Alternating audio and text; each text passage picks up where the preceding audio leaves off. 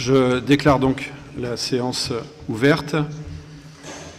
Alors, comme d'habitude, euh, l'appel du soir. Éric Schlegel présent. Agnès Poncelin. Présente. Ingrid Pinchon. Présente. Éric Flessel. Présent. François Der. Présent. Delphine Schlegel. Présente. Claude Mazard. Présent. François Culeux. Présent. Corinne Isla. Jean-Charles Lander. Manuela Ramirez a donné pouvoir, on ne sait pas sûr qu'elle arrive ou pas. En tous les cas, elle a donné, le cas échéant, pouvoir à Madame Tanguy. Madame Tanguy, Corinne, Maria Miranda, Véronique De Aquino, Ida Peloso, Éric Fournier, Isabelle Bopin-Vecchio, Pascal Galibert, Vincent Verniajou, Claire Hénin, Francis Defranou a donné pouvoir avec Fournier, il est retenu pour des raisons professionnelles en province. Monsieur Bernard Livian a donné pouvoir à Monsieur Jean-Pierre Lahaye. Madame Suzanne Charrier, Madame Martine Antonaringo a donné pouvoir à Monsieur Pierre Agement. Monsieur Pierre Agement. Monsieur Jean-Pierre Lahaye, Monsieur Jean Recherchant, Madame Pascal Dumetz et Monsieur Louis Léonide. Merci.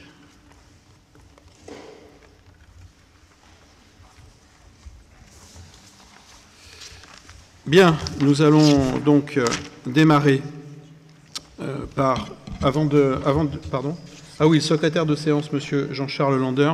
Donc nous allons démarrer comme d'habitude euh, par l'approbation du procès verbal et c'est Monsieur Hollander qui doit tout avoir sous les yeux. Bonsoir.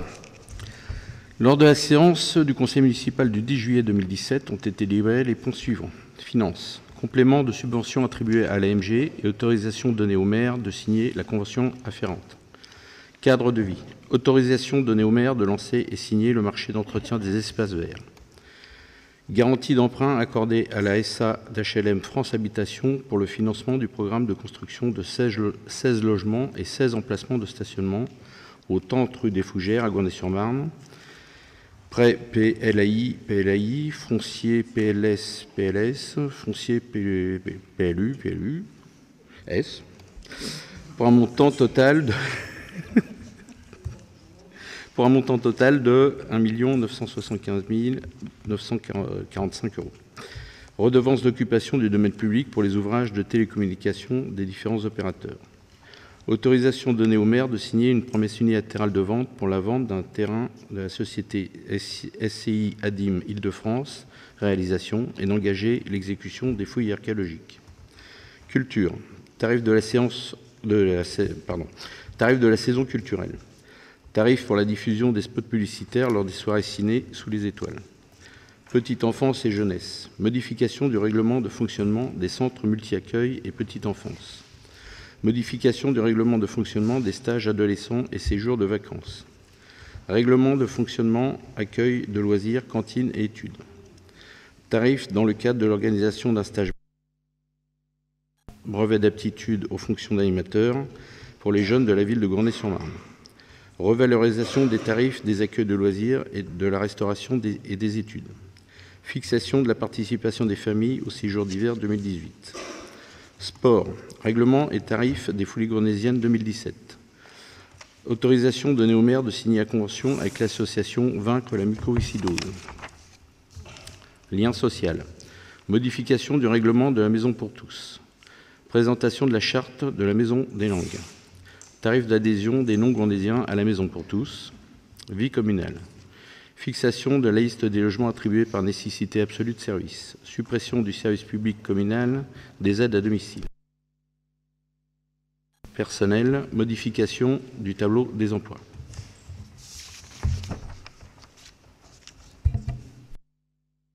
Bien, merci euh, Jean-Charles. Y a-t-il euh, des remarques? S'il n'y a pas de remarques particulières, on va passer au vote. Y a-t-il des votes contre? Des abstentions? Donc c'est un vote à l'unanimité. Merci. Bien, on va donc pouvoir commencer à décliner l'ordre euh, du jour de ce soir et nous allons démarrer avec la première délibération qui concerne le jumelage avec euh, la commune d'Autoré des Monts-Corvaux au Portugal. C'est Monsieur Claude Mazard qui va nous la présenter. Bon, ça va être moi. On a décidé de changer. Donc il y a un changement de dernière minute. Euh, je m'étonnais moi-même de voir M. Mazard à la présentation du jumelage, mais je me suis dit, il y a peut-être un rapport financier, peut-être, je ne sais pas. Bien, alors, Monsieur Der, je suis désolé. Merci. Euh, donc, jumelage au mois de mai dernier, le conseil municipal a adopté le principe d'un jumelage avec euh, la commune de Torre de Moncorvo au Portugal. Euh, du coup, ce jumelage s'est concrétisé par une signature à Torre de Moncorvo le 2 septembre dernier. Nous y sommes allés en délégation sur un week-end et on a été très bien reçus. Il a fait très beau. Et c'était un week-end très intense, mais voilà, ça s'est concrétisé. Euh, et du coup, euh, maintenant, il faut que l'on définisse, euh, suite à ce jumelage, nous allons nous les recevoir le week-end du 14 octobre. Donc il va y avoir une signature du jumelage le 14 octobre en mairie. Auquel, à laquelle vous serez conviés, bien sûr, tout le conseil municipal ainsi que tous les Gournésiens. Euh, donc euh, nous allons euh, signer côté Gournay. Et dans, ce cadre de, jumelage, forcément, ça induit des dépenses et il faut que l'on répertorie le type de dépenses que l'on peut avoir dans un jumelage. Donc il est un peu tôt pour définir des montants, des, des, projets, puisque pour l'instant on n'en est qu'à la signature. L'idée c'est que suite à la signature, la deuxième signature ici, euh, on puisse monter euh, une commission euh, extra-municipale composée d'élus, ainsi que de personnes non élues comme la présidente de l'association franco-portugaise, pour définir après ce que l'on va mettre dans ce jumelage en 2018-2019. On a déjà eu des contacts avec différentes associations gournésiennes, avec lesquelles on envisage des projets divers soit euh, dans le cadre de réception euh, de Portugais ici, euh, soit dans le cadre de voyages là-bas. Le temps est limité avec ce micro. En l'occurrence, 14 secondes. En l'occurrence, les, dépenses, voilà, c'est juste cette note de présentation est de juste répertorier le type de dépenses qu'on pourrait avoir dans, dans un jumelage qui sont là, euh, les frais de cérémonie, euh, comme euh, justement le 14 octobre, les frais d'accueil, d'organisation, d'encadrement, de déplacement, etc., etc. Voilà. Donc je vous demande juste d'approuver cette délibération. Y a-t-il des questions à ce moment?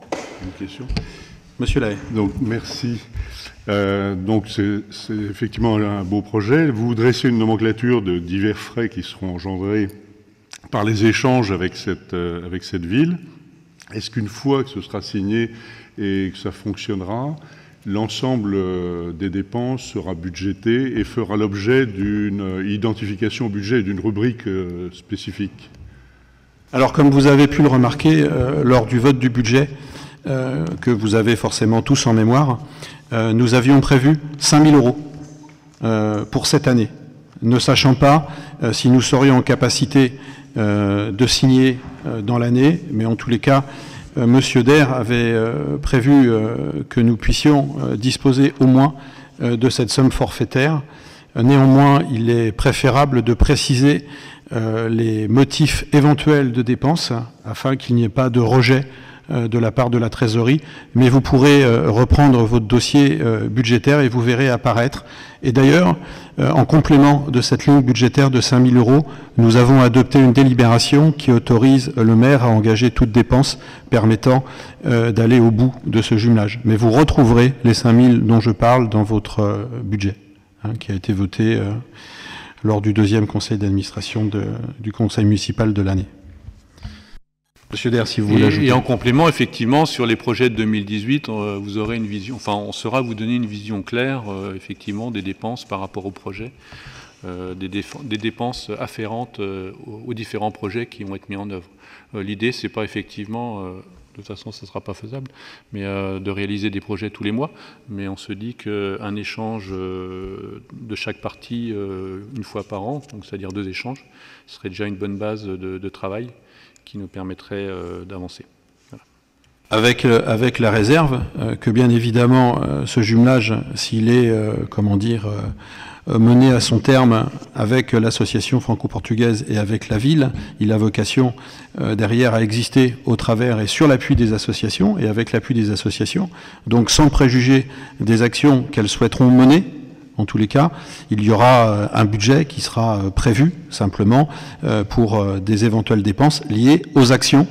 Et ce sont les actions proposées dans le cadre de ce jumelage qui détermineront le montant des dépenses, et non pas l'inverse. Mais néanmoins, il est préférable de prévoir des lignes budgétaires afférentes, tout simplement. Y a-t-il d'autres questions? Tout en sachant, Monsieur le maire, qu'aujourd'hui on passe en gestion directe. On a voulu commencer ce jumelage en gestion directe par la municipalité. Euh, si effectivement c'est quelque chose qui prenait de l'ampleur et que les Gournésiens s'approprieraient euh, euh, fortement, il, serait envisageable éventuellement qu'un comité, enfin une, association s'occupe uniquement du jumelage, par exemple. A un comité de jumelage extra-communal, on va dire. Mais pour, l'amorce du projet, je pense qu'il était bon de, voir, de voir comme ça. Euh, et juste pour info, euh, l'équipe municipale euh, du coup de Toré de Montcorvo a été reconduite largement dans ses, dans ses fonctions justement ce week-end. Donc,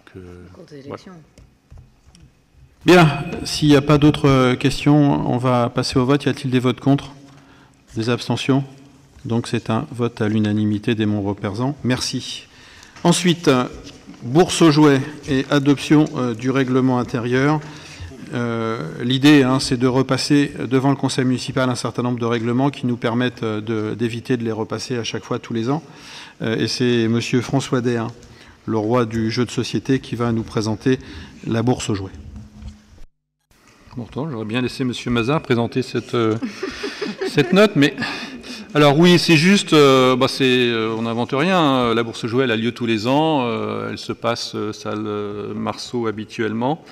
Euh, l'entrée y est, euh, enfin la, présence, euh, le fait d'exposer, pardon, est, gratuit pour tous les Gournésiens. L'entrée du public y est gratuite.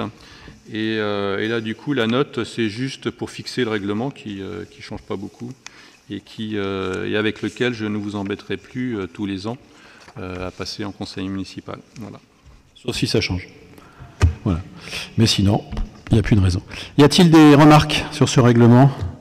Pas de remarques particulières, donc on va passer au vote. Y a-t-il des votes contre? Des abstentions? Donc c'est un vote à l'unanimité. Merci. Madame Manuela Ramirez, donc qui s'installe pour la délibération numéro 3, approbation du tarif de principe pour les participations aux soirées dansantes. Euh, bah, c'est toujours Monsieur D, hein, dès qu'on pense à la fête, euh, toujours lui. Hein. Les années 80 peut-être? Les années 80 cette fois-ci. Euh, donc on ça fait la deuxième fois qu'on organise une, euh, soirée dansante dans l'année. Et l'idée, elle est pareille, c'est qu'on puisse voter cette fois-ci un tarif unique sur ce genre de soirée. Ce sont des soirées avec, avec des DJ qui viennent avec du son et de la lumière. Donc tous les coûts sont regroupés sur un fournisseur, un prestataire dans, le cas présent. Euh, et, l'idée, c'est si on reproduit euh, des soirées de, cet ordre-là, qu'on n'ait pas encore à voter un prix d'entrée euh, de la soirée. quand on organisera des soirées avec des groupes ou orchestres, ça sera peut-être un peu différent parce que les tarifs ne sont pas les mêmes. Mais en l'occurrence, c'est un événement qui a bien marché en début d'année. Et, donc, on le repropose le 14 voter un tarif unique sur ce genre de, soirée à 10 euros, euh, dans lequel euh, sera inclus une boisson euh, non payante. Non alcoolisée. Non, pardon, non alcoolisée. C'est moi qui ai trop bu cette fois-ci. Bien, alors je vais le préciser, je crois que ça avait été demandé, ce sont le, but, au-delà de faire que ça apporte un peu, un peu de gaieté, un peu de joie et fasse partager des moments à tout le monde, euh, en tous les cas, ça n'a pas vocation à endetter la collectivité et ce sont euh, des soirées euh, qui s'équilibrent financièrement entre le montant finalement des participations demandées et des dépenses hein, qui incluent donc le, DJ, les décorations, etc. etc. Et là, ça sème. Est-ce qu'il y a nécessité de vous éclairer davantage? On va passer au vote. Y a-t-il des votes contre? Donc c'est une pas d'abstention. Donc c'est un vote à l'unanimité. Bien, alors sur la délibération euh, numéro 4, euh, il s'agira euh, de voter l'attribution d'une subvention au bénéfice de l'association La Société des Amis d'Eugène Carrière de Gournay-sur-Marne au titre de l'exercice 2017. Cette fois-ci, c'est M. Flessel. Ah, c'est moi.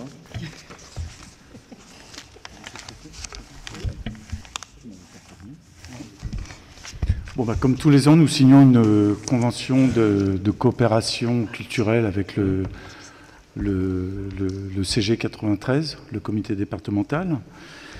Euh, cette année, le, projet euh, consiste effectivement à, payer la médiatrice pour la nouvelle exposition qui a lieu jusqu'à fin mars. Et euh, le conseil, donc, euh, le conseil départemental euh, de Seine-Saint-Denis nous verse une subvention de 4 000 euros, à laquelle nous joignons 4 000 euros que nous reversons intégralement au musée Eugène Carrière, à la Société des Amis d'Eugène Carrière. Euh, donc effectivement, le fait de reverser cette somme euh, doit être présenté en conseil municipal. Donc je vous demande d'approuver cette délibération. Pas la pas la première année hein, que ce type de, subvention nous arrive. Euh, comme Eric l'a très bien expliqué, euh, c'est une convention tripartite. Hein. Le, conseil départemental, nous-mêmes et l'association, ça peut d'ailleurs être une autre association. Mhm. Euh, il est arrivé que l'AMG, profite aussi deux années consécutivement de subventions, ce qui leur permettait de monter un, spectacle en particulier et de mener des actions dans les écoles. Il, il faut bien entendre que ce n'est pas la ville qui décide des associations qui sont préconisés, mais c'est le conseil départemental et le secteur culture du conseil départemental qui choisit éventuellement sur proposition. Là, ils en avaient, ils avaient les deux. Euh, ils ont estimé, euh, par exemple, que le, projet mené l'an dernier par le musée Eugène Carrière avait donné pleinement satisfaction. Ils ont continué euh, sur leur lancée. ils demandent des modifications et des évolutions des projets proposés, mais c'est eux qui décident d'octroyer. Hein. nous, mais par contre, à partir du moment où on s'engage sur cette convention, on a l'obligation de s'engager à la même hauteur qu'eux. Voilà. Pense avoir tout dit euh, et complété ce qu'a dit Eric. Y a-t-il des besoins d'éclaircissements supplémentaires? On va passer au vote. Y a-t-il des votes contre? Des abstentions? Donc c'est un vote à l'unanimité. Merci. Alors, note de présentation numéro 5. Il s'agit euh, d'une décision modificative euh, et ce sera la deuxième. Et cette fois-ci, il n'y a pas de doute sur celui qui vous la présentera. C'est celui qui est garant de la bonne dépense publique des finances de la ville, après moi, Monsieur Claude Mazard. C'est bien dit. Donc, décision modificative numéro 2, nous devons approuver des, des ajustements de crédit, aussi bien en recettes qu'en dépenses. Nous retrouvons la recette du musée et la dépense pour le musée à hauteur de 4 000 euros, comme euh, on vient de l'indiquer, et aussi 1 690 euros qu'on débloque pour fêtes et cérémonies, qui sont déjà au budget, mais qu'on on alimente un certain nombre de, postes et d'articles qui sont à l'alimentation, les matières et fournitures, et aussi 1290 pour le développement des fêtes et cérémonies. Donc c'est un équilibre euh, pour 5 650 euros, aussi bien en recettes qu'en dépenses. Bien. Y a-t-il euh, nécessité de répondre à quelques questions Pas de questions. On va passer, on va passer au. Monsieur, Monsieur Der, vous souhaitez apporter quelques éléments Oui, juste, hein, les, euh, juste pour être, euh, pour être rassuré, les 1690 du coup qui sont en recette, ce sont les entrées à la soirée dansante années 80, et en face, ce sont les charges, enfin les dépenses sur, par rapport à cette soirée qui sont euh, de 100 euros sur euh, les, boissons qui sont incluses dans le ticket d'entrée, les 300 euros de SACEM et les 1290 euh, de frais de décoration et, de, et les DJ qui seront là présents. Voilà, c'est juste par rapport effectivement aux recettes qu'on va avoir et les dépenses en face. Une anticipation juste. vous savez, vous savez tout. Il ne vous reste plus qu'à venir pour danser. Alors vous aurez la possibilité, si vraiment ça, vous dit, hein, de, compléter la playlist. c'est monsieur, c'est monsieur François Der hein, qui, qui s'en occupe. N'hésitez pas. Bien. Y a-t-il d'autres questions? Pas de questions particulières? On va passer au vote. Y a-t-il des votes contre? Des abstentions? Donc vote à l'unanimité de cette décision modificative. Ensuite, note de présentation numéro 6, fixation du montant provisoire du Fonds de compensation des charges territoriales, FCCT, pour le financement des compétences transférées au titre de l'exercice 2017. Euh, quand c'est compliqué et financier, bah, c'est toujours M. Mazard. La ville de Gournay appartient depuis le 1er janvier 2016 au T9, le PT établissement public territorial Grand Paris Grand Est, et le PT exerce des compétences qui lui ont été transférées. Les communes membres de cette EPT versent par obligation un fonds de compensation des charges territoriales, le FCCT. Pour mémoire, le FCCT 2016 était à 156 124 euros, avec en charge fixe 61 632 euros pour le plus, 80 000 euros pour les eaux pluviales et 14 492 euros de charges variables. Dans l'attente de validation par la CLECT qui fixera le montant définitif de ce FCCT, nous devons approuver le montant provisoire pour 2017 à 137 886,29 euros. 150 000 euros sont déjà inscrits au budget primitif.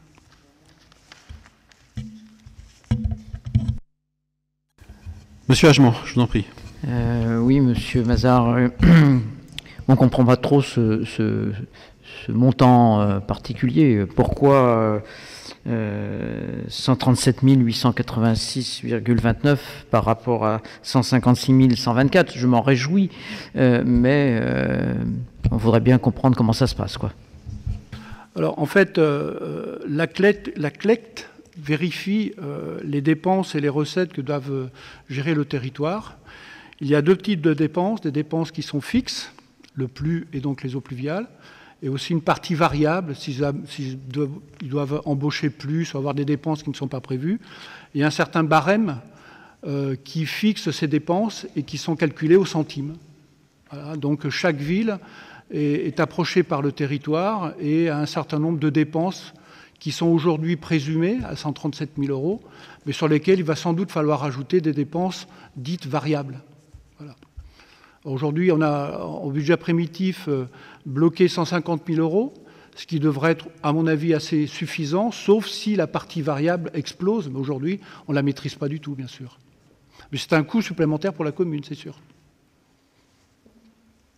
Monsieur Agement. Et puisqu'on est sur, euh, sur le T9, euh, on pouvait espérer éventuellement voir transférer un ou plusieurs membres du personnel de la mairie vers euh, le T9 pour en assumer euh, les fonctions. Euh, est-ce que ça arrivera? Est-ce que c'est arrivé? Je ne crois pas, mais est-ce que ça pourrait arriver? Ça allégerait donc notre charge ouais, ça allège momentanément, puisqu'à un moment donné, de toute façon, le territoire et les charges qui sont afférentes à la masse sur le territoire sont réparties sur les communes. Donc le transfert, le transfert abaisse éventuellement ponctuellement, mais les agents qui sont transférés au territoire, c'est nous qui les payons. Donc dans tous les cas, c'est euh, le, jeu des vases communicants. Il euh, n'y a pas d'économie. Les territoires nous coûtent de l'argent, de toute façon. Euh, quant à la question première qui était vôtre, de savoir s'il y avait des agents qui avaient été transférés, non. pour des raisons toutes simples, c'est que sur et c'est d'ailleurs un, des problèmes de la loi NOTRe et, de la requalification des territoires, c'est que toutes les villes n'ont pas des personnels à transférer ou alors il faudrait euh, que les agents aient en charge les compétences pour lesquelles le territoire euh, opère son, action, euh, ce qui n'est pas toujours le cas. Si vous prenez l'exemple des déchets, la ville de Gournay-sur-Marne a choisi de travailler avec le CIETREM avant notre arrivée, et nous avons continué de le faire, comme la mairie de Montfermeil d'ailleurs. On n'a aucun agent qui a un plein temps sur le traitement des déchets. On a peut-être un agent qui prend 0,10 d'un équivalent temps plein. Euh, pour ce qui est du plus, c'est la même chose. Euh, ça a utilisé euh, quelques, quelques agents et un peu de temps pendant la réalisation du plus. le plus, il a été adopté, il n'y en a plus. Hein, donc les, les 0,10 euh, qui concernaient euh, la réalisation du plus euh, d'équivalent temps plein se sont transférés sur d'autres actions locales. La question sous-jacente, c'est qu'est-ce que viennent faire les nouveaux personnels qui sont embauchés auprès du, du territoire. N'hésitez pas à venir. Hein, il y a un conseil de territoire une fois par mois, le mardi soir où on traite de, toutes ces questions. C'est toujours enrichissant. Euh, vous aurez tout un tas de réponses euh, sur, euh, sur la manière dont fonctionne le territoire. Ce qui est sûr, c'est que cette couche supplémentaire nous prend de l'argent, euh, ne nous fait absolument rien économiser, et pour l'instant, les gains euh, liés à des économies d'échelle, on ne les voit pas et on ne les verra pas. Et on ne les verra pas euh, avant, euh, avant des, des dizaines d'années, pour peu que le président maintienne l'existence des territoires avec les départements, avec la métropole, avec le conseil régional. Mais vous savez qu'il y a une conférence territoriale qui est prévue le 20 3 euh, octobre euh, afin de, nous éclairer un petit peu sur le devenir euh, des territoires. On en saura certainement un petit peu plus. Mais oui, malheureusement, ce qui a été mis en place nous coûte de l'argent et ne nous arrange pas plus que cela. Donc il n'y a pas de transfert pour l'instant. et je pense que je pense qu'il n'y en aura pas pour notre ville, mais comme d'autres villes d'ailleurs. Hein. On n'est pas les seuls dans, cette, dans ce cas-là. Voilà. Y a-t-il d'autres questions?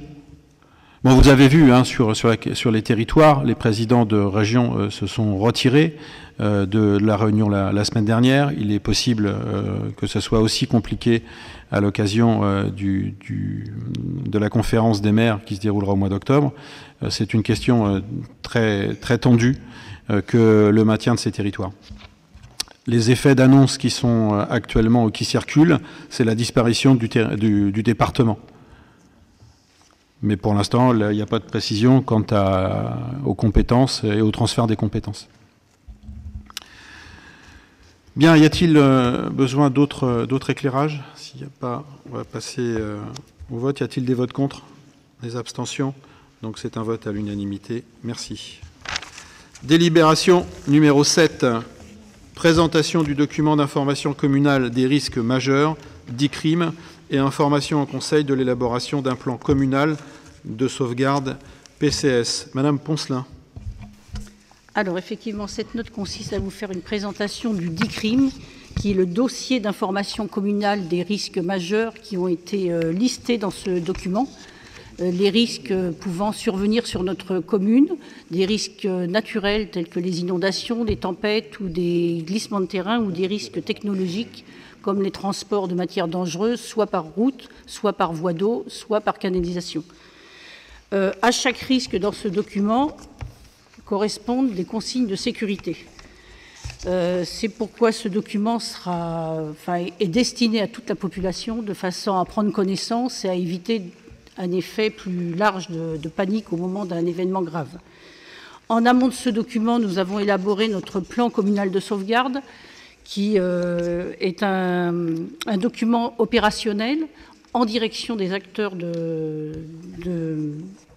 communaux, les élus, les agents de la ville, les bénévoles, les entreprises, qui, eux, organiseront la cellule de crise autour de, de l'événement majeur et qui feront l'information en interne comme en externe auprès des, autorités. Alors, ce DICRIM sera donc, je vous le disais, très largement euh, diffusé auprès de la population, euh, de façon à ce que chacun en prenne connaissance. Quant au plan communal de sauvegarde, lui, c'est un document beaucoup plus confidentiel. C'est un outil de travail pour le, pour le poste de commandement.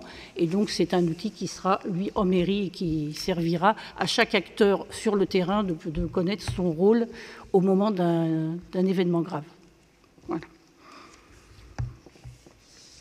Y a-t-il euh, nécessité de vous éclairer sur ce document? On va passer au vote. Y a-t-il des votes contre? Des abstentions? Donc, il n'y a pas de délibération il n'y avait pas de délibération, c'est vrai, j'ai oublié de le dire. C'était. Alors, on reste avec euh, Madame Poncelin pour la création d'un poste d'agent social et ce sera la délibération numéro 9. 8. La 8, c'était Ah, pardon. Mais c'était tentant de... Ah, je voulais pas la voir, celle-là. Ça rappelle des mauvais souvenirs, c'est pour ça. Donc c'est le retrait de la délibération d'octroi de protection fonctionnelle au maire et nouvel octroi de la protection fonctionnelle. Mais Madame Schlegel qui vous présente cette délibération va vous expliquer pourquoi on y revient, puisqu'il on l'a déjà, voté, mais vous avez lu la, vous avez lu la, présentation. Madame Delphine. Madame Delphine, il y a Comaroc qu'on m'appelle comme ça.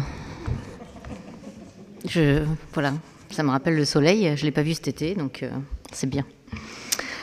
Euh, donc le 27 mars 2017 dernier, on a voté donc une délibération. Vous devez vous souvenir sur la protection fonctionnelle de l'élu euh, pour Monsieur le Maire lorsqu'il a été publié euh, sur sur Internet. Donc un commentaire par rapport au, parachutage éventuel d'Emmanuel Cos sur sur la circonscription pour les législatives.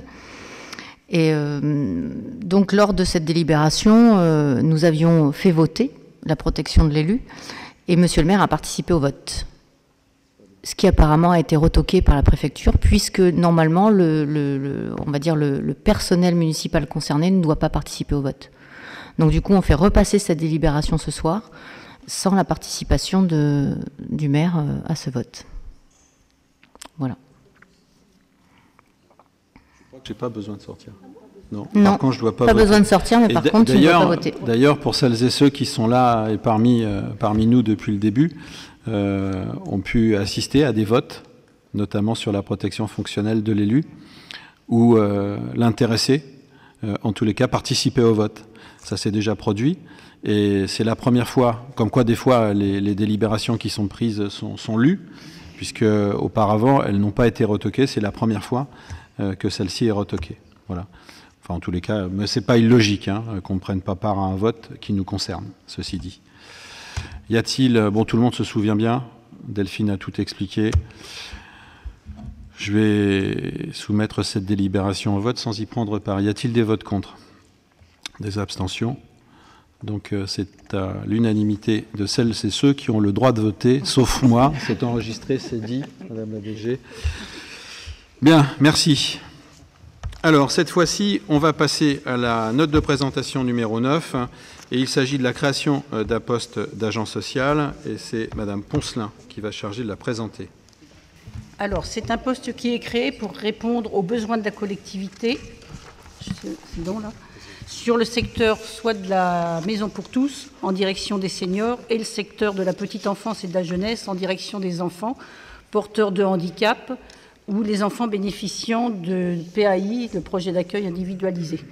Alors c'est un poste qui sera proposé, enfin pas proposé, qui va en fait euh, sur lequel il va être affecté un agent qui est en surnombre et qui ne souhaite pas quitter la filière sociale suite à la suppression du service des aides à domicile.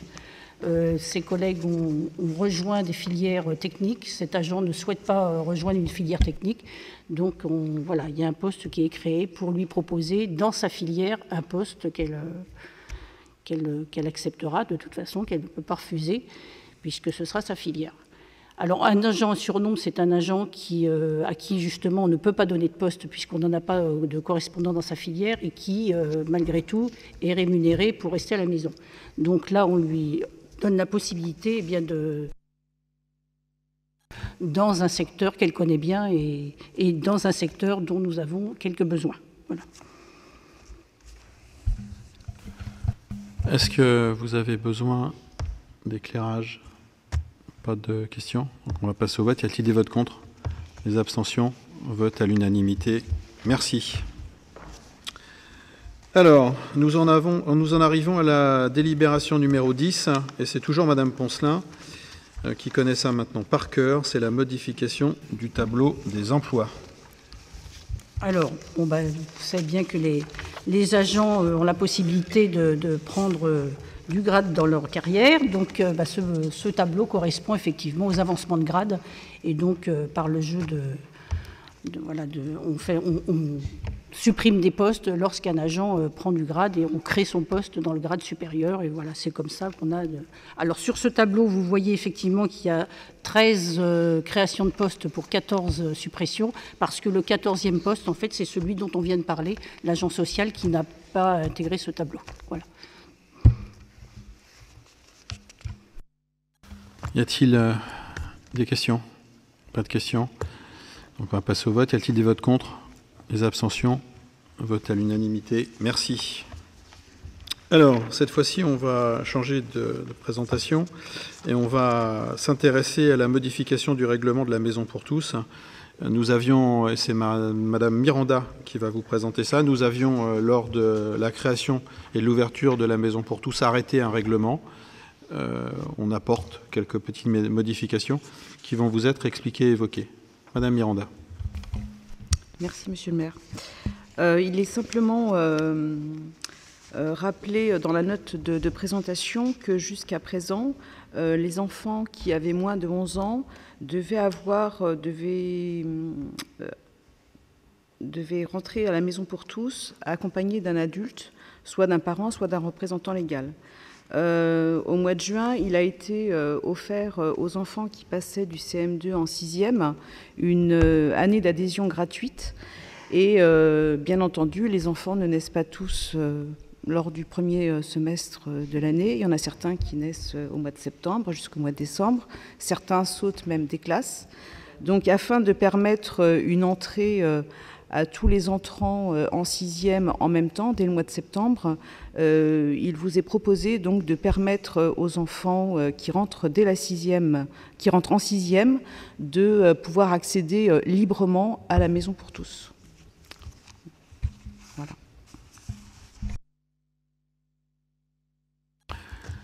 Y a-t-il des questions?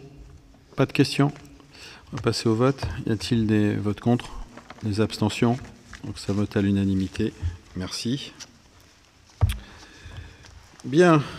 Note de présentation numéro 12. Présentation du Conseil municipal des jeunes, CMJ, et information au Conseil de l'élaboration de la charte de ce même CMJ. Et c'est Ingrid Pinchon qui nous la présente. Merci. Donc effectivement, euh, c'est une note de, présentation qui n'est pas soumise à, délibération.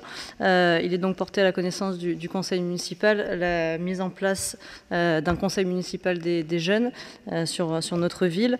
Cette mise en place répond au volet citoyen de notre projet éducatif de la ville, avec donc plusieurs, plusieurs idées. le fait que les jeunes puissent être acteurs et co-décideurs des règles de vie. Euh, le fait que les jeunes puissent euh, choisir les règles euh, en connaissance des contraintes collectives, donner la parole aux enfants et euh, sur le fait que l'on devient citoyen adulte dans une ville, d'autant mieux qu'on la connaît. Donc voilà les aspects du, projet éducatif euh, qui, qui, relèvent de, cette mise en place du Conseil municipal des jeunes. Donc ça va concerner pour la première mise en place les jeunes gournésiens scolarisés sur la ville, qui sont donc scolarisés du CM1 à la classe de 4e, avec donc trois élus par niveau de classe ce qui fera donc un conseil municipal des jeunes à 15, euh, 15 jeunes qui seront élus pour deux ans. Et donc leur objectif, euh, l'objectif de ce CMJ, c'est un lieu d'échange, d'organiser un lieu d'échange, euh, un lieu de, parole où ils pourront donc s'initier à la citoyenneté, exercer leurs droits et leurs devoirs, avec en arrière-plan l'intérêt collectif. Ils pourront également mieux découvrir le fonctionnement d'une mairie, et donc se faire les, les relais auprès des, autres jeunes de, la ville. Donc les élections, euh, la date qui a été choisie, c'est le lundi 20 novembre, puisque c'est la journée internationale des droits de l'enfant. Euh, ce sera organisé au sein du bureau numéro 5 de la ville, à savoir le préau de l'école des Pâquerettes. Euh, donc tous les jeunes du CM1 à la classe de 4e voteront. Euh, D'ores et déjà, le, Conseil municipal des jeunes a été présenté par la coordinatrice de, cette instance auprès de tous les, euh, tous les jeunes scolarisés sur la ville. Euh, ils peuvent se porter candidats d'ores et déjà jusqu'au 18 novembre. Ensuite, il y a la période de, campagne électorale, puis l'élection, le 20 novembre. Donc le 20 novembre, si, vous êtes intéressé, donc à 19h, la remise des résultats et par Monsieur le maire. Et donc euh, la mise en place de, de ce CMJ. Quatre, euh, quatre, commissions, donc en plus des, des, quelques réunions plénières où ils pourront donc euh, et, euh, et, nous, nous informer sur, sur leurs différents travaux. Quatre commissions, une commission cadre de vie, une commission communication, une commission solidarité et une commission animation. Et donc les commissions se tiendront le mercredi de 16h à 17h30. Madame Charrier En mairie. Y a-t-il euh, besoin de vous éclairer, Monsieur Léonide? Est-ce qu'il y a un budget de prévu et est-ce qu'il y a quelqu'un de prévu également pour les driver? Effectivement, il y a un budget qui a été, qui a été prévu. Alors, sur le budget de 2017, euh, on savait que de toute façon, la mise en place, elle viendrait euh, et, euh, tard dans l'année. donc, j'ai plus la somme exacte en tête, mais c'est uniquement pour acheter les écharpes. des, donc des, nouveaux, des nouveaux conseillers municipaux, des représentants donc, du, conseil municipal des jeunes pour cette année 2017. Et votre deuxième question? Un responsable, effectivement, il y a une, une coordinatrice, Claire Clairaut, et euh, donc qui, voilà, qui est déjà venue présenter et, euh, cette instance auprès des, auprès des jeunes. C'est vrai que c'est un relais, elle organise également les stages euh, et les stages ados sur la ville. elle intervient dans les écoles alimentaires, donc c'est quelqu'un qui, qui, est reconnu par les jeunes sur la ville. Voilà. D'autres questions? Bon, s'il n'y a pas de questions, on va passer à la délibération numéro 13, puisqu'il n'y avait pas de, vote, comme Mme Pinchon l'a précisé. Alors, revalorisation des tarifs d'insertion publicitaire pour l'édition d'un guide annuel. Euh, c'est du financier, mais ça concerne Eric Flessel.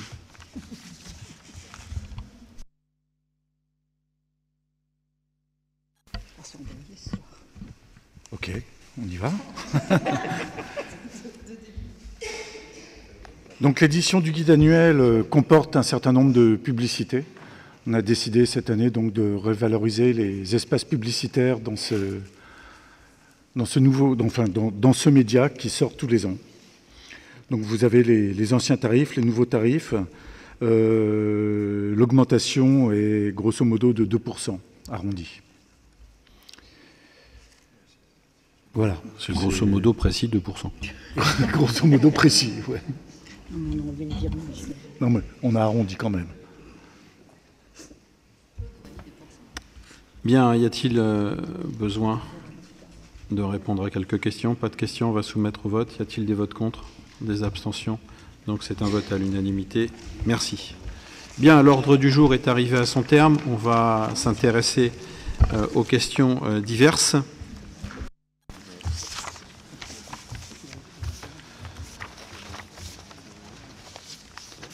Alors, je vais démarrer par euh, la question que nous a fait parvenir M. Piragement. Euh, monsieur le maire, pouvez-vous nous indiquer si vous avez signé la vente du terrain du marché Quand commenceront les fouilles Et à quelle date pouvons-nous espérer le début des travaux? Merci d'avance pour votre réponse. Il y a quand même quelque chose que... Je vais laisser la parole à Madame Schlegel, qui va vous donner des éléments de réponse importants. En tous les cas, je vous remercie très chaleureusement parce que vous ne vous n'harcelez pas ma mère avec la question du marché et elle en est ravie. Merci en tous les cas pour elle. Euh, Delphine. Moi, je tenais à vous remercier parce que ce soir, j'étais un peu frustrée parce que je n'avais pas de délibération propre au cadre de vie. Et, j'ai râlé en, BM euh, entre nous en disant j'ai pas de délibération. Donc le maire m'en a laissé une sur sa protection fonctionnelle de l'élu. Bon, c'était un peu, un peu petit, j'ai trouvé. Et les trois questions diverses ce soir me concernent. Donc je suis ravie et je vous en remercie. Donc euh, les fouilles. Alors euh, c'est chouette parce que du coup, euh, ce matin, nous avons vu la société EVA qui est arrivée donc pour faire le compte, enfin pour faire le, on va dire l'état des lieux contradictoires sur, sur le lieu des fouilles. Et donc nous avons fait prendre trois photos parce que quand même on les a attendues pendant presque un an. Donc ils sont arrivés ce matin avec. vous auriez dû poser la question plus tôt, monsieur. Oui. arrivé plus non, mais c'était, ça tombait à brûle pour point et vous tombez bien. Désolé. Donc, du coup, euh, c'est parfait. Donc du coup, euh, les fouilles donc euh, ont été annoncées la semaine dernière du 2 octobre au 5 décembre. normalement, donc ce sont des fouilles qui durent deux mois, la preuve, et ils n'ont pas normalement le droit de dépasser le 5 décembre. Notre question a été la suivante, c'est de se dire voilà, à la suite des fouilles l'INRAP a deux ans pour faire son rapport. Mais non, le début des travaux n'est pas assujetti au rapport de l'INRAP puisqu'ils escavent tout, ils prennent tout, ils enlèvent tout. Donc du coup, on peut commencer les travaux, enfin la société euh, ADIM peut commencer, euh, filière de Vinci peut commencer les travaux dans la foulée. Ce qui veut dire que les fouilles durent jusqu'au 5 décembre maximum. Et ensuite, donc, déjà, par anticipation, le maire signe la promesse de vente du terrain le 13 octobre Donc 13 octobre 2017, signature de la promesse de vente. Acquisition du terrain par euh, Adim, filière de Vinci, donc avant la fin de l'année, donc avant fin décembre 2017. Euh, janvier 2018, début des travaux. Et donc la société Adim nous annonce une livraison de la halle du marché euh, à la hauteur du printemps 2019. Et donc la livraison des appartements l'été 2019. Ce qui veut dire que de toute façon, on nous avait annoncé 18 mois de travaux, c'est exactement ça. Euh, par rapport euh, au début des travaux en janvier 2018. Donc on est exactement dans les temps annoncés au départ. Le seul retard qu'on a pris, c'est les fouilles. Les fouilles qui ont pris, euh, qui nous ont pris presque un an, un an de notre temps, et, voilà, et qui n'ont pas commencé ce matin, mais l'état des lieux a eu lieu ce matin, donc sur le site. Vous avez vu qu'il y a eu des bungalows de livrée, les bungalows de chantier. Donc ce sont des bungalows de chantier pour les deux mois de fouilles simplement puisque les bungalows de chantier pour les travaux du marché ne seront pas du, tout situés sur le terrain de boule, seront situés autour du marché et non pas à cet endroit-là. Voilà pour cette, cette question. Vous avez, euh, vous avez les réponses attendues, Monsieur Agement Ou est-il nécessaire de euh, préciser? Non, merci. J'espère juste que le le protocole, enfin la promesse de vente sera bien signée très vite et, que les deux mois et demi euh, en question vont être suffisants pour euh, euh, finaliser la vente définitive. Ensuite. en sachant simplement que c'est aussi leur intérêt. Hein. Ils ont perdu eux aussi énormément de temps et on a l'impression qu'eux aussi sont pressés de commencer. Ensuite, les, questions qui nous ont été adressées euh, par M. Lahaye. Donc la, première, les riverains de la rue des Mimosas se plaignent d'une circulation abondante de véhicules remontant cette rue à vive allure, notamment aux heures où des bouchons se forment euh, dans les avenues adjacentes.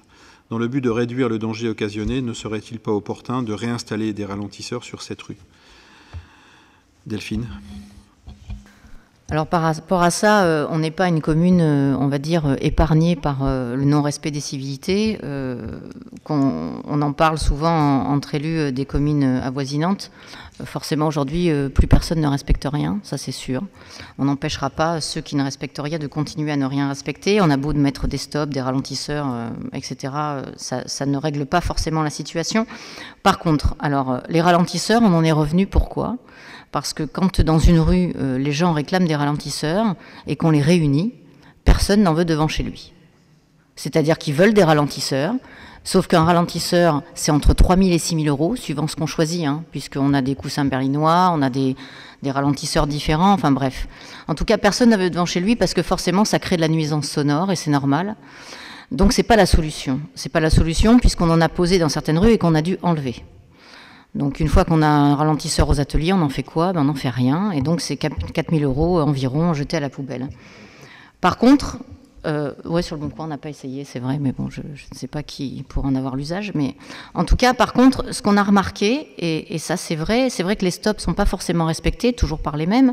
Mais en tout cas, ce qui a réglementé la vitesse, on l'a vu à Avenue Foch là récemment, c'est ce stationnement unilatéral alterné par quinzaine.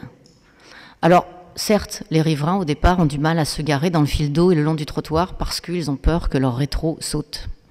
Alors oui, on a deux, trois rétros les, premiers 15 jours qui sautent, puisqu'on a toujours des gens qui roulent à vive allure. Par contre, à terme, ça règle la vitesse. Donc ce qu'il faut qu'on s'acharne à faire, c'est à régler le stationnement dans les rues.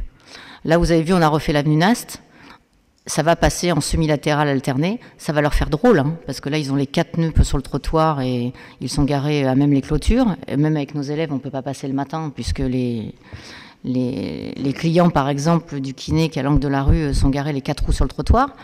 Mais en tout cas, c'est une habitude à prendre. Et c'est vrai que moi-même, je me gare avenue Foch maintenant, euh, habitant du Parc, je me gare avenue Foch euh, souvent devant chez Madame Charrier. Donc je suis garée là. Et, c'est vrai que du coup, ça ralentit les voitures, puisqu'on est obligé de faire un petit peu du gymkhana pour laisser passer et compagnie, et ça ralentit forcément.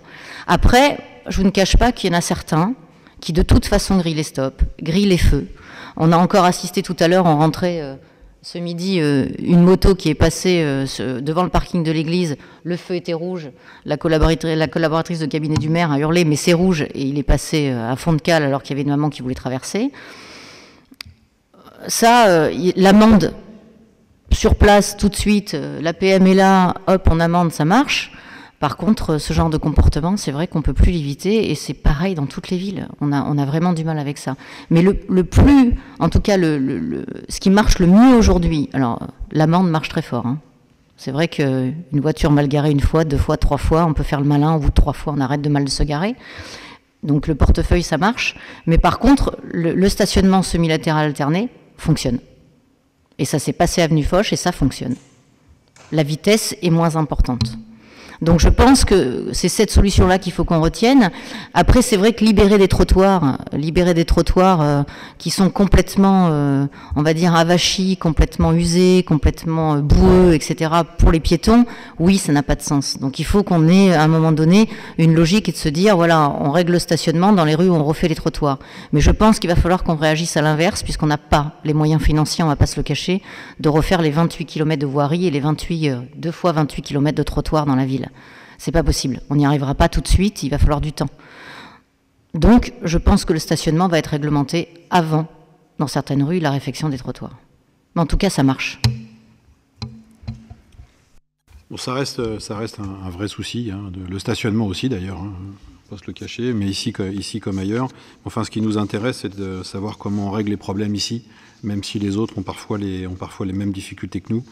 Euh, voilà, il y a des éléments de réponse, hein, mais il est vrai, euh, et moi je, le confirme pour celles et ceux qui en doutent, hein, là, là où euh, des, ralentisseurs ont été installés, très souvent, les administrés nous demandent de les retirer ou de les mettre ailleurs. C'est un peu comme c'est un peu comme le logement social. Pour celles et ceux qui en voulaient, ils les voulaient, mais loin de chez eux, en règle générale. D'ailleurs, Suzy est en train de dire, ça a toujours été comme ça. On a encore en tête euh, la vidéo qui circule encore sur Internet de Monsieur Champion qui disait euh, Oui, voilà, on a voulu mettre des coussins berlinois, mais personne n'en voulait devant chez eux. Et c'est vrai. Et c'est encore vrai. Alors, la, question numéro 2. Dans le cadre de la densification de l'avenue de Champ, euh, six pavillons ont été rachetés ou sont en cours de l'être dans le but d'y construire pour tout ou partie à leur place des logements sociaux. Pourriez-vous nous apporter un éclairage sur cette opération à savoir donc qui pilote cette opération Préfecture, EPFIF, mairie, EPFIF pour le compte de la ville des Gournay ou tout autre organisme. Rôle de chacun des intervenants. L'impact financier éventuel pour la commune, notamment euh, si elle devait être partie prenante. Quel projet en nombre et nature des logements prévus? Madame Schlegel. Alors, j'avais déjà répondu euh, au cours d'un CM précédent sur certaines des questions, mais je vais être euh, bien plus précise aujourd'hui puisqu'on a plus d'informations. Euh, alors, on a signé, vous le savez, et ensemble, puisqu'on l'a voté ici, une convention avec l'EPFIF pour être notre porteur financier, puisqu'on n'a pas les moyens financiers d'acheter. Donc l'EPFIF, en effet, s'est porté acquéreur de six parcelles, donc avenue de Champ, du 15 au 23 donc euh, aujourd'hui, on peut dire que par procuration, la ville est propriétaire de, six parcelles. C'est une enveloppe budgétaire qui représente, qui représente 2,4 millions. Euh, cette enveloppe budgétaire, euh, elle est aujourd'hui assujettie au rachat du bailleur ou du constructeur qui va construire Avenue de Champ. Alors il y avait plusieurs solutions. Soit on faisait un appel, un appel à projet de promoteurs qui ensuite pour les 30% de logements sociaux qui sont une obligation à chaque construction de plus de 10 logements sur la ville, euh, se porter acquéreur d'une partie donc euh, de, on va dire de, ce projet, soit on faisait appel avec les PIF à un bailleur qui est et constructeur et bailleur social. Donc euh, les PIF, comme nous, on s'est dit, écoutez, de toute façon, ce qui est mieux, c'est que ça soit exactement la même personne qui gère le tout. Parce que avoir un constructeur d'un côté, un bailleur social de l'autre, à un moment donné, ça peut poser difficulté. Donc là, euh, l'EPFIF a fait le choix d'une nouvelle fois là sur la ville pour la troisième fois du coup, euh, même si on a d'autres bailleurs sur sur la ville de France Habitation. Pourquoi? Parce que France Habitation a des filières de construction sur l'accession à la propriété. Donc c'est une parcelle qui, euh, qui représente à peu près 3000 m2. Cette parcelle peut, on va dire, euh, voir se construire 70 euh, logements, entre 70 et 80 logements maximum avec les règles qu'on a établies, avec les règles de recul par rapport à la voirie, les règles de recul par rapport aux limites séparatives derrière, on peut voir construire entre 70 et 80 logements. Ce qui veut dire que si on fait entre 30 et 40% de logements sociaux, on, va voir sortir, on va dire, entre 70 et 80 logements au total et entre 20 et 30 logements sociaux sur la parcelle. Pour l'instant, ce n'est pas défini. Pourquoi? Parce que 2,4 millions, ça veut dire qu'il faut un équilibre financier pour celui qui va acquérir. Donc ça veut dire que nous, de toute façon, on a imposé pas plus de 40% de logements sociaux et la loi nous oblige 30%. Donc on aura entre 30 et 40% de logements sociaux sur cette parcelle. Ensuite, ce qu'il faut savoir, c'est qu'il y a zéro impact financier pour la ville. Pourquoi? Parce que l'EPFIF euh, n'est pas philanthrope et l'EPFIF n'a pas à faire de bénéfices. C'est-à-dire qu'ils achètent pour la ville et il faut que celui qui rachète rachète au centime près ce que l'EPFIF a dépensé. Si jamais, là, on n'avait pas d'acquéreur, c'est-à-dire qu'on n'a pas euh, le bailleur ou le constructeur ne peut pas dépenser 2,4 millions pour acheter ces six parcelles, en effet, la ville, au bout de trois ans, est obligée de racheter à l'EPFIF. Donc là, ça serait 2,4 millions pour la ville. Ce qui est impossible financièrement, on le sait très bien et on le sait tous. On sait très bien que cette enveloppe, elle a été étudiée et on sait très bien que cette enveloppe peut faire voir le jour d'un projet qui est rentable financièrement. Et d'ailleurs, donc, euh, il a été proposé par les PIF à France Habitation de racheter, et France Habitation a répondu positivement. Je les reçois mercredi matin à 9h pour présenter donc un projet. Donc pour l'instant, je ne peux pas vous dire exactement combien de logements il va y avoir, mais ça sera entre 70 et 80, et ça sera entre 30 et 40% de logements sociaux. En sachant que du coup, ça sera exactement le même, euh, on va dire, euh, gestionnaire pour les deux, sur l'accession à la propriété comme sur le logement social ce qui est franchement un confort euh, extraordinaire, puisque du coup, il n'y a pas de conflit, il n'y a pas de discussion à avoir, il n'y a pas de division en volumétrie, il n'y a pas tout ça. Donc c'est vraiment un confort pour la ville. Ce qui est un confort pour nous aussi, c'est que du coup, avec cette opération, on va dépasser le quota de logement pour France Habitation pour nous fournir, fournir des gardiens sur la ville. C'est-à-dire que France Habitation donne un gardien pour les logements sociaux qu'il construit à partir de 100 logements. Vous savez qu'au marché, on en a 66. Puis, on a la rue du Pied Perdu, où il va y en avoir 18. La rue des Fougères, où il va y en avoir 16. Et 24 à Max d'Ormois. Ce qui veut dire que là, avec ces 70 logements potentiels, on va avoir plusieurs gardiens sur la ville du même bailleur social. Et là aussi, c'est un confort, parce que ça veut dire qu'on a un seul interlocuteur et on a des gens qui s'occupent des constructions. Et là, c'est exceptionnel, puisque moi, les bailleurs sociaux, j'en rencontre beaucoup. Euh, au cours, au cours de mes rendez-vous. Et souvent, les entreprises, c'est au-delà de 200, voire de 400 logements où ils fournissent un gardien. Là, tous les 100 logements, on a un gardien qui vit sur la ville, qui est logé sur place et qui circule entre les différentes constructions. Donc pour nous, ça nous est apparu la meilleure solution pour la ville, puisqu'on veut un suivi et on veut que ce soit exactement le même gestionnaire partout. Alors ça aurait pu être euh, I3F, ça aurait pu être d'autres bailleurs sociaux. Mais en tout cas, les conditions que, propose France Habitation sont vraiment, euh, pour l'instant, quelque chose qui nous correspond. Alors avant de, avant de revenir sur les... avant que Delphine ne rappelle les quelques règles et les mmh. objectifs de l'État, parce qu'il faut que chacun les ait en tête. Il y, a des choses qui sont, qui sont encore à dire sur le sujet. Néanmoins, nous avons toujours affirmé qu'il était préférable d'essayer d'avoir la main sur notre avenir plutôt que de se laisser dicter euh, les choses et de devoir construire les choses n'importe comment, euh, puisque les, constructeurs ne nous attendent pas pour acquérir euh, les biens qu'ils ont envie d'acquérir. Euh, d'ailleurs, Avenue de Champ, ça a, déjà, ça a déjà démarré. Euh, il y a plusieurs secteurs de la ville où les constructeurs, et c'est normal, c'est leur job, euh, ont un regard particulier sur les parcelles qu'ils peuvent acquérir, et ils ne s'en privent pas. nous défendons l'idée, en tous les cas, qu'il est préférable d'intervenir avant et de réaliser des projets qui sont cohérents. Cohérent, ça veut dire que sur des projets comme cela, Delphine l'a bien exprimé, la loi, c'est 30% de toute façon du total. Euh, même si euh, on peut euh, en discuter. néanmoins, ça peut être 100%. Il pourrait y avoir sur une réalisation 100% de social. Hein. la, difficulté, c'est l'équilibre financier. C'est ce que nous essayons de défendre avec l'État.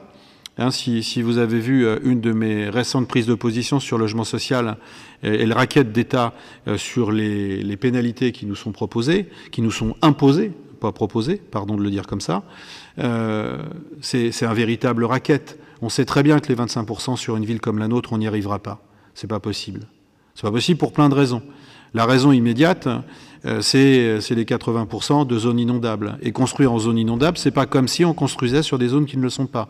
Les parkings souterrains, on les construit, on est obligé de le faire. Mais en revanche, le coût n'est pas le même que quand c'est pas inondable. Et l'équilibre financier a son importance. En tous les cas, nous, on ne souhaite pas, euh, en tous les cas sur un espace comme celui-ci, euh, défendre du 100% social. Je, rappelle, euh, en tous les cas, que nous avons récupéré le droit de préemption, qu'il a été pris par l'État pendant, pendant deux, trois années, puisque nous n'avions pas respecté nos obligations. L'État n'a pas fait beaucoup mieux, hein, puisque d'ailleurs, ça, faisait partie d'un article récent également dans, le Parisien, mais Delphine va rappeler les chiffres, sur, sur les performances de l'État en termes de capacité à construire néanmoins, on va vous rappeler quand même certains chiffres, puisque la, densification, ce n'est pas un projet local. La densification a du sens, la construction peut avoir du sens, mais pas n'importe comment et pas n'importe où. Et quand on a une ville de 2 km avec 80% de sa zone en zone inondable, on ne peut pas faire comme si on n'était pas en zone inondable et si on avait euh, une surface de 50 km. Ce n'est pas la même chose. Delphine, quelques chiffres. Oui, juste pour vous rappeler, si on repart à l'horizon de, l'île de France, vous savez qu'il hum, y a eu à un moment donné euh, une, annonce pour dire qu'il fallait construire en île de France 70 000 logements. Donc 70 000 logements, du coup ça s'est descendu au niveau de l'État pour dire en île de France, chaque ville doit prendre sa part des 70 000 logements. Et on nous a déclaré une TOL, ça s'appelle, c'est la territorialisation de l'offre de logements ça s'appelle l'atoll. Et sur Gournay-sur-Marne, l'atoll, elle est de 29 logements. Ça veut dire que chaque année, en dehors de tous logements sociaux, hein, chaque année, on doit sortir minimum 29 logements pour remplir cette obligation 70 000 logements sur l'île de France. Là, on ne parle pas de logements sociaux, hein. on parle simplement de logements. 29. Ensuite, on a déclaré le PLU, et dans le PLU, on nous dit, voilà, si vous voulez garder votre population, c'est-à-dire la population actuelle de Gournay, les familles, euh, les anciens, etc. Si on se fermait, on se mettait sous bulle, voilà, Gournay-sur-Marle, Under the Dome, on garde que les mêmes, voilà, et on n'accueille plus personne. Pour accueillir ces mêmes personnes au cours des dix années suivantes, c'est-à-dire nos enfants, nos anciens, les divorces, puisqu'on a quand même des gens qui habitent sur la ville et qui avaient une maison et puis qui aujourd'hui ont deux maisons ou un appartement et une maison, etc. De toute façon, pour accueillir les gens qui aujourd'hui sont sur la ville, il nous faut 30 logements par an. En plus des 70 000 à construire sur l'île de France. Donc déjà, on est à 60 par an. Et en plus de ça, on a la loi Allure qui nous dit, vous devez, tous les trois ans, obligation triennale, construire tant de logements. Donc notre dernière obligation triennale, elle était de 128 logements. 128 logements, on en a agréé 131. Les 66 du marché, les 24 de Marx Dormois, les 16 de la rue des Fougères, les 18 du but perdu et les 6 logements qu'on avait euh, au niveau des pâquerettes. Ça fait 131. On a rempli notre obligation triennale et l'État nous a rendu notre droit de préemption. Si on cumule sur les 3 ans ce qu'a fait l'État tout seul il nous a pris le droit de préemption. Ce qu'ils ont fait eux tout seuls, c'est 58 logements en 3 ans. Les 24 de Max Dormois, les 16 rue des Fougères et les 18 rue du Puy-Perdu. Donc l'État lui-même nous impose 128 logements en 3 ans. Il nous prend le droit de préemption en disant Vous voulez pas les faire? Vous pouvez pas les faire On va les faire, nous. Ils en font 58. Mais nous, ils nous en imposent 128. Donc ils peuvent nous le reprendre, le droit de préemption, c'est pas un souci. À un moment donné, ils se sont bien rendus compte qu'à Gournay-sur-Marne, le foncier est cher. On est en zone inondable, ça veut dire que j'ai reçu encore un promoteur aujourd'hui qui veut faire un projet euh, euh, dans la ville. Et oui, mais il perd 2 mètres de hauteur. Il perd un étage complet avec la zone inondable. Donc ils perdent un étage. Donc ça veut dire que ça leur coûte de l'argent. S'ils veulent faire un parking souterrain, il faut qu'ils fassent un parking souterrain cuvelé. Donc c'est de l'argent en plus. Donc le foncier est cher, la construction est chère. Comme le disait le maire, on fait 2 km. On ne fait pas 150 km, on fait 2 km.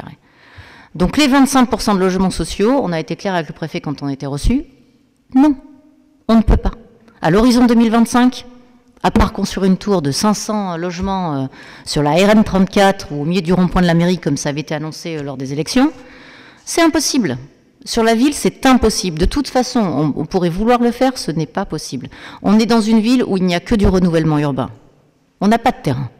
Donc ça veut dire que c'est à la vente des propriétés que ça se passe. Ou alors à penser qu'on exproprie. Et dans ces cas-là, on fait une ZAC, on exproprie tout un quartier et on fait une ZAC de 500 logements. En tout cas, c'est niette, puisque l'expropriation, on a dit non. Et l'État nous a pris le droit de préemption, ils en ont fait 58. Donc nous, on s'est dit, voilà, 30, 40 logements par an avec 30% de logement social. Là, on avance euh, intelligemment, etc. Le reste, on ne peut pas. Et on ne pourra pas. Là, l'obligation triennale à l'heure actuelle, elle est de 182 logements dans les deux ans qui nous restent. Sociaux. Sociaux, hein. 180 logements sociaux. Pour que tout le monde ait bien en tête. Ce ne sont que 30% des logements qu'on doit construire. Ça veut dire qu'il faudrait qu'on construise 400, plus de 400 logements en deux ans. Enfin, c'est aberrant. Donc, ils peuvent nous doubler la main, nous la tripler, etc., et prendre le droit de préemption. Eux-mêmes n'ont fait que 58 logements en trois ans. Donc, de toute façon, on avance intelligemment, on essaye de faire les choses. C'est vrai que tout le monde a droit au logement, sauf qu'on est une commune aujourd'hui où on a édicté des règles qui ont été acceptées par l'État, où on ne monte pas au-dessus de 13 mètres, on ne monte pas au-dessus de ce qui existe, on a établi nos règles, 8 mètres en fond de parcelle, on a été au maximum de ce que la loi nous permettait de faire, et aujourd'hui, même l'État, en préemptant lui-même, n'arrive pas à remplir ses obligations triennales. Donc à un moment donné, il faut qu'ils entendent que sur des communes de 2 km avec 80% de zones inondables, il faut que la règle soit différente. C'est pas qu'on veut se protéger ou quoi que ce soit. La règle doit être différente. Ce n'est pas possible autrement. Donc une dernière chose, euh, simplement, pour vous compreniez, Là, on a des projets sur la ville. Bien entendu, il y a des projets qui vont sortir avec des promoteurs qui ont déjà acheté des parcelles. Donc vous avez vu que France Habitation, donc sur les, préemptions de l'État, n'a toujours rien sorti. On a agréé 131 logements, il y en a zéro qui sont sortis pour l'instant. Donc il y a des recours, bien entendu, et c'est normal, c'est ce que je dis aux promoteurs. Forcément, vous aurez des recours sur la ville. Donc ces recours auront une fin de non-recevoir à la fin. Par contre, ça recule, c'est tout, c'est reculé pour mieux sauter. On perd un an, on perd un an et demi, mais de toute façon, les projets vont sortir. Mais aujourd'hui, les promoteurs qui, agissent sur la ville ont à cœur de faire du qualitatif. Ça veut dire qu'en termes de, de, visuel, en termes d'aspect, en termes de matériaux utilisés, c'est quelque chose qui est qualitatif. Parce que c'est une vitrine pour Gournay-sur-Marne, puisqu'on a été déclaré la ville où il fait le meilleur vivre en Seine-Saint-Denis. Donc euh, c'est qualitatif pour eux. En tout cas, sachez une chose, c'est que Monsieur le maire s'est bien prononcé vis-à-vis du préfet. On ne remplira pas notre obligation triennale. On ne peut pas et on ne le fera pas. Voilà. Ça a été Merci pour toutes ces précisions et vos réponses. Ça a, été un, ça a été un peu long, mais il était nécessaire de, de, repréciser un petit peu le contexte dans lequel on évolue. Euh, on n'est pas seul. Euh, d'autres euh, de mes petits camarades du territoire ont des difficultés comparables, parfois même lorsqu'ils ne sont pas en zone inondable. Je vous renvoie à ce, modeste article du Parisien de la semaine dernière qui précise un petit peu les difficultés que peuvent rencontrer certaines villes comme, comme Coubron comme Vaujour, par exemple, euh, elles sont très différentes, les difficultés rencontrées. En tous les cas, les nôtres, elles sont réelles. C'est comme ça. Euh, il, faut, il faut faire avec. Euh, la difficulté, la difficulté, c'est pas tant, pas tant de, leur expliquer qu'on peut pas. C'est que de toute façon, et c'est pour ça que c'est un racket d'État, c'est qu'à un moment donné, l'amende, elle sera là. Donc on s'est engagé, nous, à faire notre, de, tenter de faire le job, correctement. On l'a réussi sur, les, trois premières années. Je ne vois pas comment euh, nous réussirions à faire 182, euh, mais de toute façon, ce n'est même pas un projet. Mais il faut savoir que d'autres villes euh, de taille différente, je pense à Philippe Dallier sur Pavillon-sous-Bois, qui a clairement évoqué aussi et énoncé qu'il n'y arriverait pas. Ce n'est pas possible. Les, contraintes qui pèsent sur sa ville sont aussi importantes et il ne pourra pas sortir ce qui lui est demandé de faire. C'est juste pas possible. Alors il y a des pistes. Euh, qui sont évoqués par le territoire. Et c'est pas moi qui le dis, ça tombe bien, parce que c'est mes petits camarades. Moi, étant, euh, étant à 10% de logement social, euh, je ne peux pas indiquer à mes petits camarades que si la moyenne du territoire est de 25, finalement, on a atteint les objectifs. Il faut savoir de quoi on parle. À partir de 2019, le logement est une compétence territoriale. C'est d'ailleurs ma vice-présidence. Est-ce que de ce fait, nous allons euh, pouvoir bénéficier des 25 sur le territoire Ce qui serait euh, une bonne chose pour nous, pas que pour nous. Mais il y a des villes qui font le choix d'augmenter encore je pense à une ville, un des deux Neuilly, et vous identifierez laquelle. Il y, a, une volonté euh, de construire, mais sur les deux, ils ont quasiment atteint. Je crois que Christian Demain qui a quasiment atteint ses 25%, si ce n'est pas encore le cas, et ça sera fait bientôt. Par contre, Jacques Maillas, lui, il a dépassé depuis longtemps, et ça ne le dérange pas. Euh, en tous les cas, c'est un, mode de fonction, c'est un choix politique. Et ça s'entend aussi, ça peut se comprendre. Néanmoins, on n'est pas tous à égalité là-dessus. Euh, toujours est-il qu'une un des, options, ce serait qu'à un moment donné, si les territoires sont maintenus, et ça renvoie à la conférence des territoires qui se déroulera au mois d'octobre, euh, sur, euh, sur cette question-là, est-ce qu'il y aura prise en compte ou pas des 25% sur un territoire? Ce qui nous sortirait de la difficulté dans laquelle nous nous trouvons. Et, et c'est pas moi qui ai fait la proposition. Le premier qui l'a proposé, hein, c'est Patrice Calmejane, maire de Villemomble, euh, qui a clairement exprimé le fait qu'il n'y avait pas de raison, puisqu'on nous parle aujourd'hui de territoire, on a une compétence qui remonte, pourquoi on ne prendrait pas euh, sur le territoire les pourcentages? Alors ça en arrange certains, et moi le premier, mais je ne reviens pas sur ce que j'ai déjà dit sur la position que je défends, parce que parce que c'est pas tenable. Mais par contre, dans le même temps, euh, sur les zones où nous devons prendre la main, nous continuerons à essayer de le faire dans la mesure où nous en sommes euh, capables, afin de ne pas voir construit n'importe quoi. Ça, c'est sûr. Voilà, c'était un peu long, mais c'était... Euh, monsieur Agement, pardon. Moi, je voulais juste vous poser une, question plus enfin, terre à terre par rapport à, l'avenue de Champ. Euh, sur quel type de logements sociaux nous envisageons d'avoir ces fameux logements sociaux, puisqu'il en, il en existe trois types. Devons-nous les ventiler selon les trois types ou pouvons-nous choisir? Et pouvons-nous choisir un certain nombre de locataires du fait que nous sommes les, instigateurs? Alors, euh, sur les trois types de logements sociaux, sur la ville, de toute façon, c'est 30-30-30. Ça veut dire c'est un tiers, un tiers, un tiers, de toute façon, de, logements très sociaux, de logements peu sociaux et de logements moins sociaux encore. Alors, on a plusieurs choix. Hein. C'est-à-dire que sur l'intégralité de la ville, on doit respecter le un tiers, un tiers, un tiers. Donc, ça veut dire que si un endroit, on fait du tout social, vraiment très social, ça veut dire qu'on devra ailleurs faire un autre type de logement. Euh, nous, on part du principe qu'il vaut mieux ventiler, comme vous le disiez, et de faire un tiers, un tiers, un tiers dans chaque. Parce que, ça veut dire que là, on est dans la vraie mixité sociale. Si on commence à faire des ghettos, à faire 30 euh, logements d'un côté de très social et puis de moins social à un endroit, non. Par contre, on est sur la mixité sociale, mais on est aussi sur une mixité sociale, pour nous, qu'on trouve intelligente. Ça veut dire qu'à un moment donné, dans un bâtiment, vous pouvez avoir sur le même palier quelqu'un qui a acheté son logement en accession à la propriété à 400 000 euros, et puis sur le même palier, quelqu'un qui aura acheté son logement à côté à 90 000 ou à 100 000 euros parce que c'est du logement social. Cette mixité sociale-là, elle ne fonctionne pas. Elle fonctionne pas, ça s'est vu dans certaines villes. Les gens n'acceptent pas ça, hein. euh, et, ça se comprend, c'est humain aussi, euh, et, ça ne va pas. Donc il faut faire attention à la mixité. La mixité dans une même propriété avec deux entrées différentes, deux logements différents dans une même propriété, ça ne pose pas de problème. La mixité se fait. Par contre, sur un même palier, c'est pas possible. Donc les promoteurs en reviennent aussi. Ils l'ont fait parce que certaines villes leur ont demandé, mais ils en reviennent parce que ça ne fonctionne pas. Et, pour le bailleur social, c'est ingérable. Qui nettoie les parties communes de l'accession et, du social Enfin, ça devient complètement ingérable. Donc, il y aura euh, une ventilation comme vous le disiez, parce que parce que c'est important. Euh, ensuite, votre deuxième question, c'était sur le type de logement. Non, le, choix des locataires. Ah, le choix des locataires. Alors, le choix des locataires, la ville, de toute façon, à partir du moment où quelque chose sort sur la ville, on a un tiers, on a, on a une, une, une partie réservée. Par contre, on pourrait avoir encore plus de logements à notre disposition. Maria, tu me coupes si je me trompe. Si on participait et si on versait une subvention à la construction. Ce qui n'est pas le cas dans cette, euh, dans cette construction-là, puisqu'on a versé énormément pour le marché.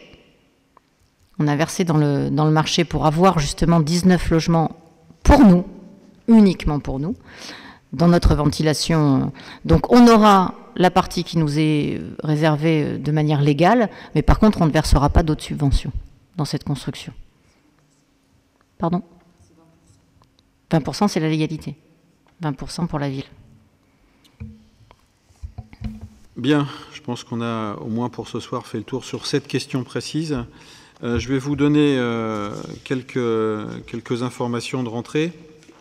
Euh, je vous ai mis à votre disposition un document qui est intitulé Fiche élu, hein, qui vient de la DTSP 93 et qui a l'intention des élus de Gondet-sur-Marne. C'est un document simplement factuel qui vous permet d'avoir des éléments chiffrés des différentes atteintes délits euh, qui peuvent euh, être commis euh, sur, sur la ville. ça évite peut-être à certains de dire tout et son contraire. Et puis factuellement, c'est un document qui n'est pas contestable, sauf à dire que la police aurait la volonté de travestir les chiffres qu'elle nous donne euh, bon, ce sont des, comparatifs euh, là d'août 2016 à août 2017, mais vous avez à chaque fois le détail de l'année. C'est toujours trop, hein, il y, a toujours trop de délits euh, de toute façon, ça c'est sûr, et on peut, s'en plaindre. Néanmoins, ça ne correspond pas parfois à ce que j'entends et à ce que je peux lire ici ou là.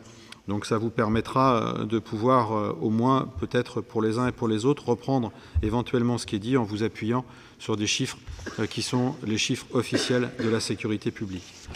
Concernant euh, les petites choses qui ont été euh, réalisées en ce début d'année, vous aurez l'occasion de voir sur le site que le clubhouse du tennis a été installé.